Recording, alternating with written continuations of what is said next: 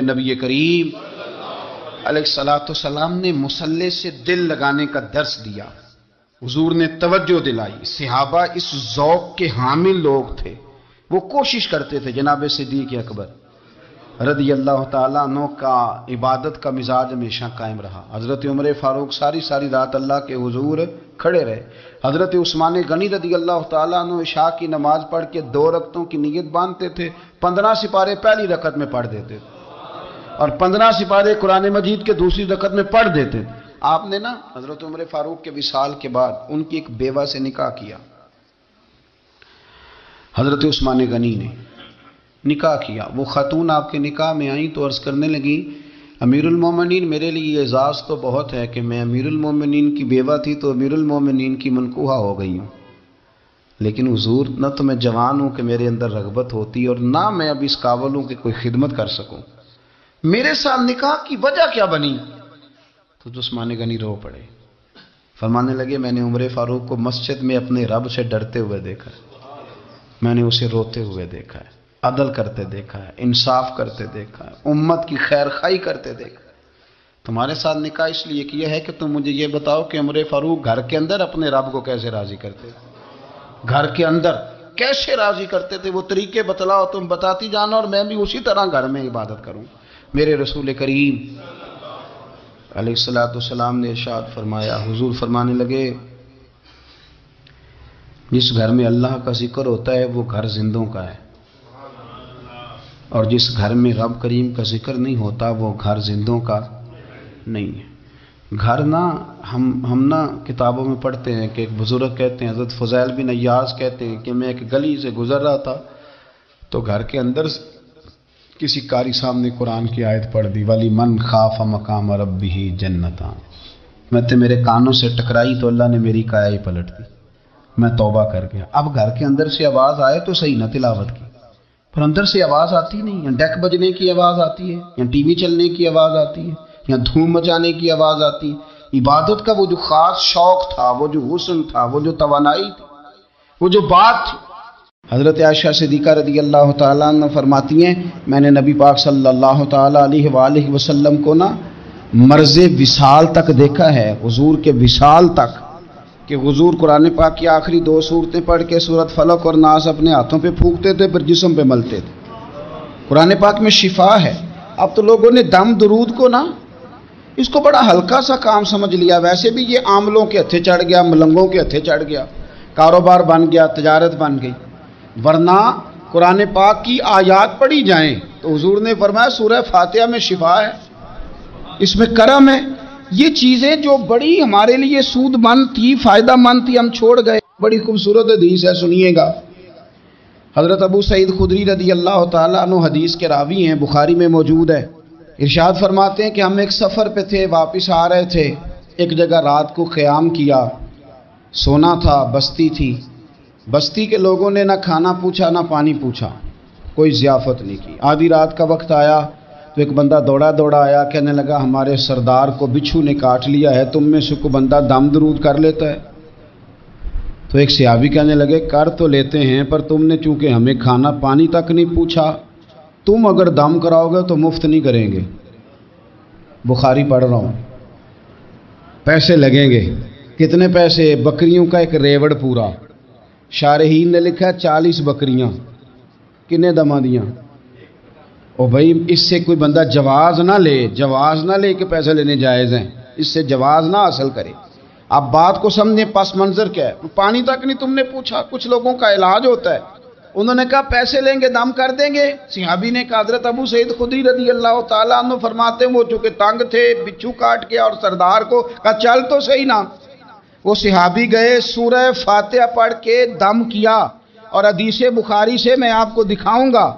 لوگ کہتے ہیں، دم کدھر سے آ گیا؟ بخاری پڑھ رہا ہوں، صحیح بخاری۔ شفا تو اللہ نے دینی ہے نا۔ رب کریم نے شفا دے دی، بکریاں لے لیں۔ آ گئے جہاں آرام کر رہے تھے، اس جگہ صحابہ میں اختلاف ہو گیا۔ کچھ کہنے لگے، بکریاں لینی چاہیے تھی۔ کچھ لگنے لگے، نہیں لینی چاہیے تھی۔ حضرت ابو سعید قدری رضی اللہ تعالیٰ عنہ فرماتے ہیں، پھر ہم نے فیصلہ کیا، چپ کر کے سو جاؤ۔ صبح حضور کی بارگاہ میں جائیں گے۔ اگر کریم نے کہا لینی چاہیے تھی، پھر تو موج بن گئی۔ اور اگر کہا نہیں لینی چاہیے تھی، تو بکریاں ہانگ کے واپس کر دیں گے۔ مسئلہ کیا ہے؟ کہتے ہیں صبح گئے حضور کی بارگاہ میں۔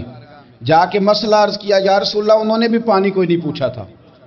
ہم نے بھی کہا، دم کریں گے تو پیسے لیں گے، تو ہم نے یہ بکریاں لی ہیں۔ شارحین لکھتے ہیں چالیس تھی شاید۔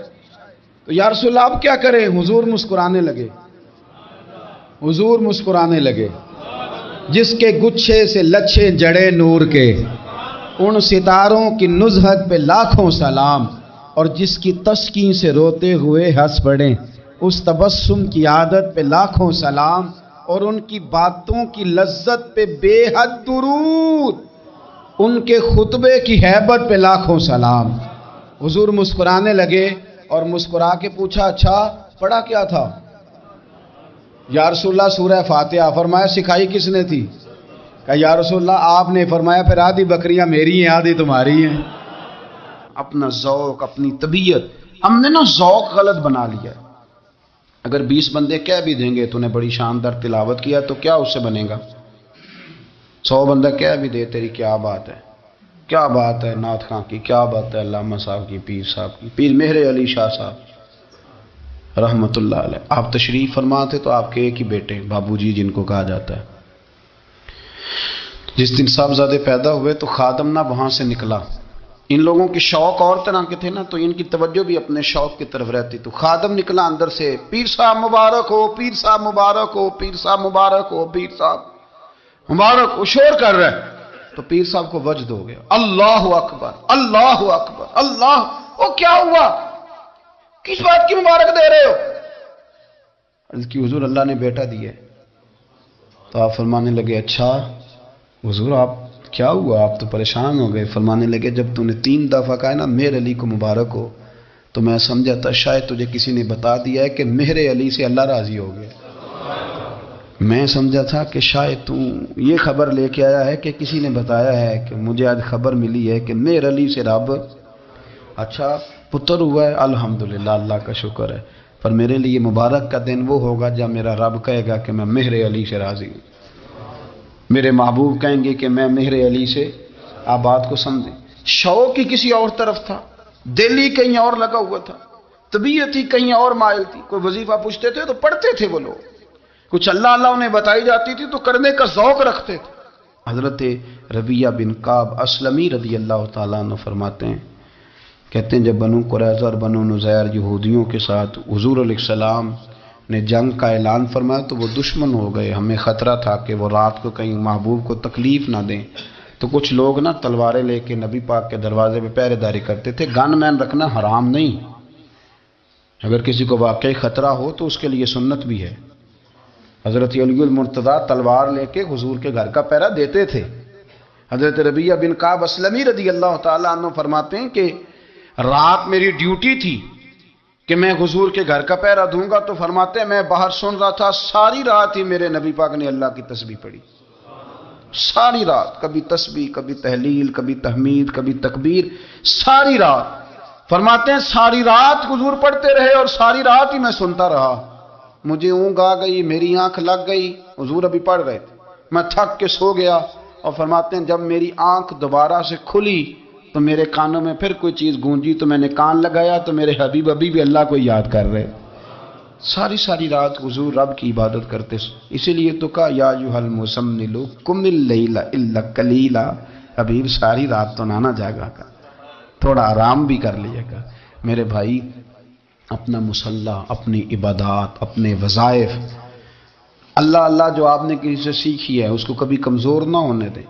شجرہ شریف جو کسی بزرگ سے آپ لے لیتے ہیں تو کیا رسم ہے کوئی؟ اس پہ کچھ لکھا ہوتا ہے۔ وہ پڑھنے کے لیے دیا جاتا ہے۔ اس پہ لکھا ہوتا ہے کہ یہ اللہ اللہ آپ نے کرنی ہے۔ ساری زندگی کسی اسکول میں داخل ہو گئے اور وہاں جا کے آپ نصاب ہی نہ پڑھیں، کتاب ہی نہ کھولیں، تو پاس ہو جائیں گے؟ تو کہتے ہیں، میں بیس سال جاتا رہا، ملا کچھ نہیں، تو آپ نے لیا کیا ہے؟ ایک اتنی سی کتاب تھی، اس کو تو کھول کے آپ دیکھ نہیں سکے۔ اس کے وظائف تک تو رسائی نہ ہوئی۔ اس لیے کہ اللہ اللہ کرنا مشکل ہے۔ حضرت سیدنا امام اعظم ابو عنیفہ رحمۃ اللہ تعالی علیہ کے ساتھ ایک شخص کہتا میں نے نماز پڑھی۔ تو عشاء کی نماز تھی۔ یہ جو لوگ بڑے ہوتے ہیں نا، جن کے پیار کرنے والے بڑے ہوتے ہیں، ان کے گرد خوف بھی بڑا ہی ہوتا ہے۔ انہیں بڑا ڈر لگتا ہے۔ بڑی بعض اوقات آزمائش ہوتی ہے۔ عشاء کی نماز کہتے پڑھی تو امام صاحب نے نا عشاء کی نماز میں تلاوت کی آیتیں، فمن یعمل مسکال ذرۃ خیر یرا فمن یعمل مسکال ذرۃ شر یرا فرمایا، جو ذرہ برابر خیر کرے گا، وہ بھی قیامت میں دیکھے گا۔ اور جو ذرہ برابر شر کرے گا، وہ بھی قیامت میں اس شر کو دیکھے گا، اس کے سامنے آئے گا۔ تو وہ شخص کہتا ہے کہ سارے لوگ نماز پڑھ کے چلے گئے، تو امام صاحب رحمۃ اللہ علیہ نا اپنی داڑھی پکڑی، رو رہے ہیں۔ کہتے ہیں وہ ذرہ برابر نیکی کا بدلہ دینے والے وہ ذرہ برابر شر پہ سزا دینے والے، میری سفید داڑھی کو دیکھ۔ مالک میرے ذرے ذرے سامنے نہ لانا لوگ تو میری بڑی قدر کرتے ہیں دنیا۔ میں تو بڑا پہچانا جاتا ہوں۔ لوگ تو میری راہوں میں پھول لیے کھڑے ہوتے ہیں۔ یہ بڑا نوازتے ہیں۔ قیامت میں رسوا نہ کر دینا۔ میرے لیے مشکل ہو جائے گی۔ وہ کہتے ہیں، میں نے امام صاحب کا درد دیکھا، مجھے کوئی کام تھا تو میں چلا گیا۔ میں نے کہا کہ وہ اس وقت اللہ کی حضور حاضر ہیں تو میں دوبارہ آؤں گا۔ کہتے میں تحجد کا وقت آیا تو امام صاحب وہیں بیٹھے تھے۔ اور ان کی داڑھی آنسو سے بھری ہوئی تھی اور زور سے داڑھی پکڑی ہوئی، کہنے لگے، مالک، رسوا نہ کر دیں قیامت میں رسوا نہ کر دیں یار، جو ہدایت یافتہ لوگ تھے، وہ تو ڈرے ہوئے تھے، وہ تو سہمے ہوئے تھے۔ وہ تو کہتے تھے، یہ اس کا فضل نہیں، اس نے بلا لیا۔ یہ اس کا کرم نہیں۔ حضرت بائی جید بستامی کسی کافر کو دیکھتے تو رو پڑتے۔ کہتے، مالک تو کتنا قریب ہے، یہ بےمان رہ گیا، تو نے اپنے فضل سے مجھے اپنے نبی کا غلام بنا لیا۔ وہ رو پڑتے۔ یہاں تو لوگوں کا دعوی ہی بڑا ہے۔ نمازی اللہ خیر فرمائے، وہ تو دوسروں کو گھورتا ہے، وہ کہتا ہے، جنت کا میں مالک کو کنجیاں میرے پاس ہیں، میں کسی اور کو گھسنے نہیں دوں گا۔ اور اگر دو تین حج کر لے، تو پھر تو وہ کہتا ہے کہ اب میرے سے پوچھ کے لوگ جنت میں جائیں گے اللہ۔ اور اگر وہ دو، چار، پانچ، سات دفعہ کوئی نفل پڑھ لے، تو پھر وہ کہتا ہے، چھوڑیں جی سارے لوگ بے عمل ہے میں اکیلا نے ایک ہوں۔ نہ ایسا کریں۔ قرآن مجید نے کہا، قد افلح المؤمنون۔ فرمایا، تحقیق مومن کامیاب ہو گئے۔ کون سے مومن کامیاب ہوئے؟ الزینہ ہم فی صلاتہم خاشیون وہ مومن کامیاب ہوئے جو اپنی نمازوں میں خوشو کرتے ہیں اپنی نمازوں میں آجزی کا مظاہرہ کرتے ہیں وہ مومن کامیاب ہوئے۔ الزین فی سلاطیم خاشیون وہ لوگ جن کی نمازوں میں آجزی ہے، جو گڑ گڑاتے وہ مومن کامیاب۔ خوشو کا مطلب ہوتا ہے دل کا لگنا۔ بڑا جھک کے کوئی بندہ کسی کو سلوٹ کرے تو اس سے دل نہیں لگا ہوتا، بلکہ جس سے دل لگا ہوتا ہے، دل اس سے لگا ہوتا ہے۔ نماز میں، عبادت میں دل لگ جائے تو مطلب یہ کہ خوشو حاصل ہو گیا۔ وہ کہے کہ میں نے بڑی جھوک کے رکو کیا اور بڑی میں نے دبا کے سجدہ کیا۔ تو احکام تو ایسے ہی ہے کرنا تو ایسے ہی چاہیے، لیکن خوشو کا معنی کیا ہے؟ دل کا لگنا۔ غور کرنا ہے آپ نے بات پہ۔ خوشو کا معنی، دل جب تک نہیں لگتا نماز میں خوشو نہیں۔ دل جب تک نہیں لگتا تلاوت میں لذت نہیں۔ دل جب تک نہیں لگتا ذکر کا مزہ نہیں۔ دل جب تک نہیں لگتا غلامی کا مزہ نہیں۔ جل جب تک نہیں لگتا عقیدت، محبت، یہ سارے لفظ بے معنی دل لگنا بڑا ضروری ہے۔ اب ایک حدیث میں جب پڑھوں گا نا تو آپ کہیں گے کہ اتنی بڑی بات اور ہمیں خبر ہی نہیں کہ دل لگنا کتنا ضروری ہے۔ نبی پاک علیہ السلام کا فرمان صحیح مسلم میں موجود ہے۔ حضور نے فرمایا، میں اس دل سے پناہ مانگتا ہوں جو دل تو ہو پر اس میں خوشبو نہ ہو۔ پناہ مانگتا ہوں اس دل سے۔ دل ہو پر وہ لگا ہوا ہی نہ ہو۔ نہ نماز میں لگے، نہ عبادت میں لگے، نہ وہ اللہ کے ذکر میں لگے۔ میں پناہ مانگتا ہوں ایسے دل سے۔ وہ کوئی دل ہے؟ وہ دل ہے کوئی پتھر بن گیا جس میں خوشبو کوئی نہیں۔ جو پیسوں میں بڑا زیادہ لگتا ہے، گپوں میں بڑا زیادہ لگتا ہے، کھانے پینے میں بڑا زیادہ لگتا ہے، آوارگی میں بڑا لگتا ہے، عبادت میں نہیں لگتا، تو پھر اس کا علاج کرانا چاہیے۔ دل دل کو لگانے کی طرف توجہ کرنی چاہیے۔ دل جب لگ جاتا ہے نا تو پھر وہ جدھر لگ جاتا ہے، پھر وہ ادھر ہی رہتا ہے۔ دائیں بائیں نہیں جاتا۔ اور جب لگتا نہیں، تو پھر وہ گھومتا ہی رہتا ہے، وہ آوارہ ہی رہتا ہے۔ پھر اس کی کوئی حیثیت نہیں ہوتی۔ اس کا لگ جانا بڑا ضروری ہے۔ اس دل کو اللہ اور اس کے رسول کے رستے میں لگا دینا، یہ بڑا اہم اور بڑا ضروری امر ہے۔ نہیں نہ لگے گا تو یہ خراب ہو جائے گا، بگڑ جائے گا۔ اس پر محنت کی ضرورت ہے۔ نبی پاک علیہ وآلہ وسلم، سید عالم صلی اللہ علیہ وسلم کے جو غلام تھے نا، ان کا جب دل نہیں لگتا تھا تو دل کی شکایت کرتے۔ ایک سیابی نے عرض کی، حضور، میرا دل سخت ہو گیا۔ نرم ہی نہیں ہوتا۔ محبوب علیہ السلام نے فرمایا، تو یتیم کے سر پہ ہاتھ پھیرا کر، اللہ تیرے دل کو نرمی عطا کر دے۔ تو کسی یتیم کے سر پہ تیرا دل لگ جائے گا، اس میں نرمی آئے گی۔ یتیم کے سر پہ تو ہاتھ رکھے گا نا جس کا باپ فوت ہو گیا، اس کے سر پہ تو ہاتھ رکھ، اللہ تیرے دل میں نرمی پیدا کرے گا۔ محبوب نے بیان کیا۔ حضرت جناب سیدنا سری سختی رحمت اللہ علیہ فرماتے، میرا دل سخت ہو گیا تھا۔ میں بڑا پریشان رہتا تھا۔ حضرت معروف کرخی رحمت اللہ علیہ کی بارگاہ میں کئی دفعہ عرض کی۔ میں نے کہا، بابا میں اس کا کیا کروں؟ یہ سخت ہو گیا۔ مہینوں ہو گئے، یہ اللہ کے خوف میں نہیں رویا۔ سالوں بیت گئے، حضور کی نعت سن کے نہیں رویا۔ اب تو کتنا وقت گزر گیا ہے، اسے مدینے جانے کے لیے بھی رونا نہیں آتا۔ حضور یہ سخت ہو گیا ہے۔ کوئی رحمت کی نظر ہو۔ خشکی سی آ گئی ہے۔ عجیب سی میل چڑھ گئی ہے۔ فرماتے، کئی دفعہ میں نے خواہش کا اظہار کیا۔ ایک دن نا عید کا دن تھا تو حضرت معروف کرخی نے ایک چھوٹا سا بچہ، چھوٹا سا بچہ انگلی کے ساتھ لگایا ہوا تھا تو حضرت آ رہے تھے تو میں نے کہا، حضور آپ کدھر سے آ رہے ہیں؟ یہ بچہ کون ہے؟ فرمانے لگے، یتیم ہے۔ سارے بچے عید والے دن اخروٹ کے ساتھ کھیل رہے تھے، بیچارے کے پاس اخروٹ کوئی نہیں۔ تو حضور آپ کیا کریں گے؟ تو حضرت معروف کرخی کہنے لگے، پیسے تو میرے پاس بھی کوئی نہیں۔ اخروٹ خرید کے دینے کے، میں یہاں سے کھجوروں کی گٹھلیاں چنوں گا، وہ گٹھلیاں بازار میں بک جاتی۔ ہیں میں یہ گلیوں سے گٹھلیاں چنوں گا۔ اور چن کے میں نے کہیں بیچوں گا، اور جب میں انہیں بیچوں گا تو پھر یتیم کے لیے دو چار اخروٹ خریدنے کے قابل ہوں گا، پھر میں اسے اخروٹ خرید کے دوں گا۔ پتہ نہیں کہاں کی بات سنا رہا ہوں میں آپ کو، اور پتہ نہیں کہاں کا ذکر کر رہے ہیں بابا جی۔ بچہ یتیم ہے، بچے اخروٹ سے کھیل رہے تھے، اس کے پاس اخروٹ کوئی نہیں۔ بابا، آج کا پیر تو معرفت کی بات کرتا ہے، تو یتیم کے لیے گٹھنیاں چلنے چلا ہے۔ آج کا پیر تو کہتا ہے، میں اسی والے کمرے میں بیٹھ کے تمہیں بڑا عرش کے الا کی بات بتاؤں گا، یتیم کے لیے گٹھلیاں چننا، مدرسے کے طلباء کی نوکری کرنا، یتیموں کا، غریبوں کا، ان مجبوروں کا خیال کرنا، یہ تو رواج ہی نہیں ہے آج کا۔ بابا، تو کیا کہانی سنا رہا ہے؟